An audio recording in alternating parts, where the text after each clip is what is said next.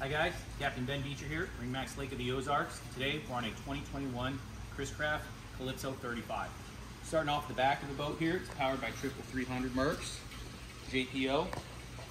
You can see you have a walkway into the boat here. Uh, also, this boat does have a dive door over here on the starboard side, so easy boarding on this boat.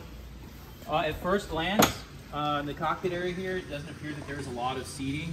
Uh, but it really impressed me is it opens up a lot. So you have seating over here to port. This comes up. This comes out. You have it over here on the starboard. And then you also have it here in the center. So you go from having minimal seating to a lot of seating for a lot of entertaining. So uh, control panel, easy access under here. Couple notable things on this boat. It is optioned with a generator, uh, Seakeeper, and cockpit AC. Uh, over here you have your summer kitchen,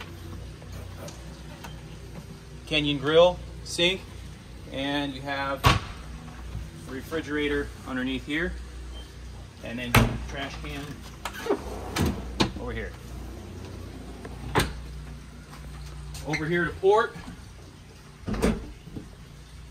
have a nice bathroom. Over here at the helm. Uh, great setup they have here. Uh, Garmin Glass Dash.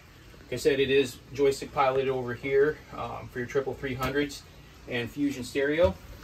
Also underneath here, you'll have a little cabin, uh, a little area to get out of the sun, uh, TV down in there. And another option I thought was pretty cool is this window is power operated. Hit a toggle switch on the dash. This comes down.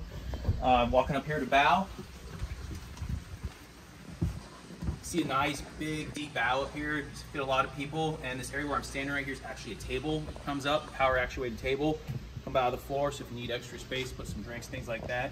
So really neat boat on our brokerage program here Captain Ben Beecher at MarineMax Lake of the Ozarks.